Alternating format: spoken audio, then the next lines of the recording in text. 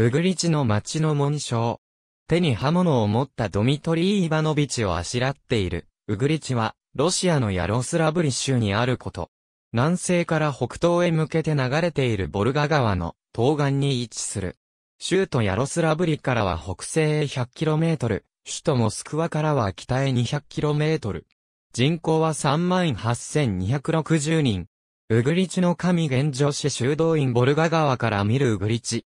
左の赤と青の建物は、皇太子ドミトリーを記念した、聖堂主の復活修道院地元の言い伝えでは、町の創建は937年のことであるが、文献にその名が書出するのは1148年のことで、ウグリチェポーレの名で記されている。地名の由来は、ボルガ川が大きく湾曲する角にあるからと考えられる。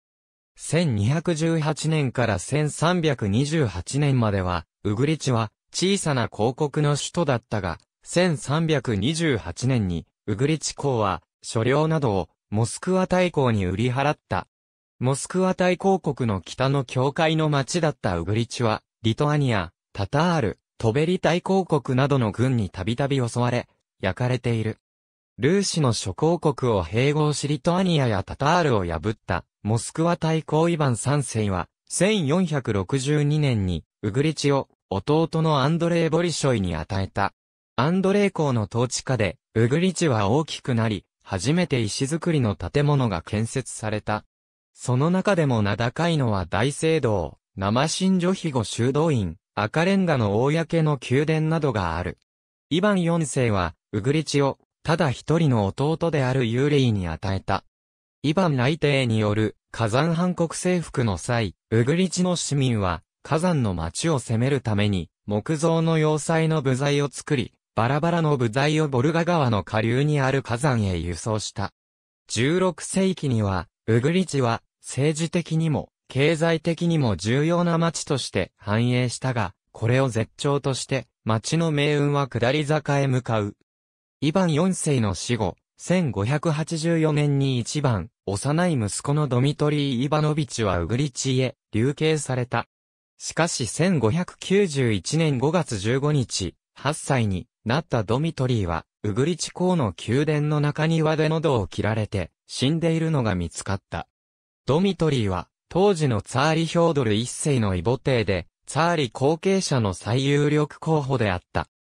シュイスキーによる公式の調査ではその死因は自己死と断定され、ドミトリーの死の知らせを告げた大聖堂の鐘の絶を切ってシベリアへ流罪としたが、ヒョードル一世の摂政をボリス・ゴードゥノフがツァーリーを狙って殺したのではという噂が広がった。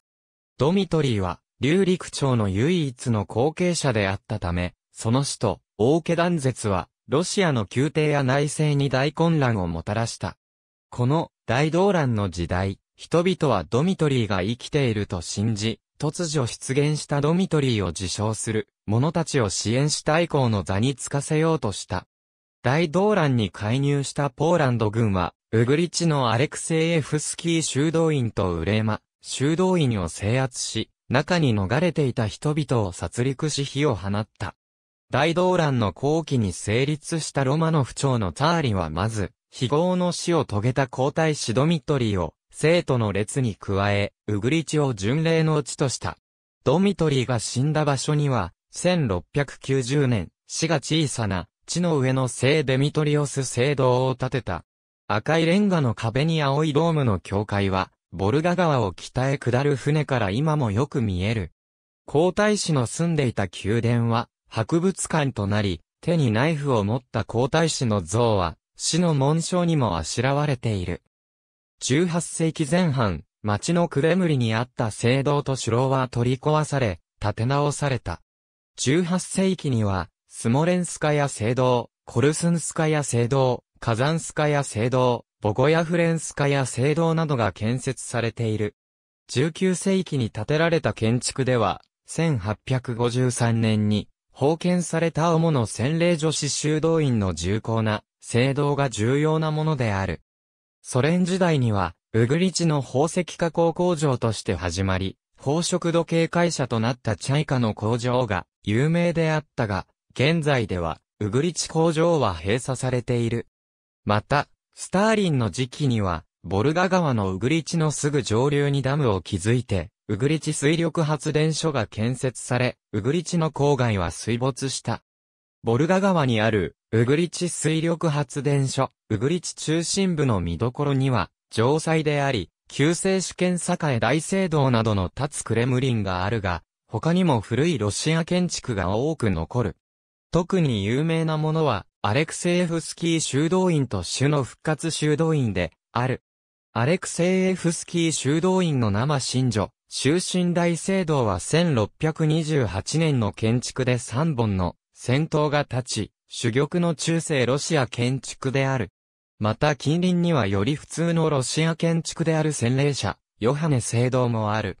ボルガ川下半近くには、主の復活修道院の大きな聖堂、食堂、主楼、夏の聖堂などが見える。これらの建物は1674年から1677年の間に遡る。修道院の反対側には、洗礼者、ヨハネ生誕聖堂がある。1689年から1690年に建てられた、この聖堂は、ある商人が、息子の溺れた場所を記念して建立した。その他、郊外にも17世紀に再建された、ウレーマ修道院など素晴らしい建築が数多くある。ありがとうございます。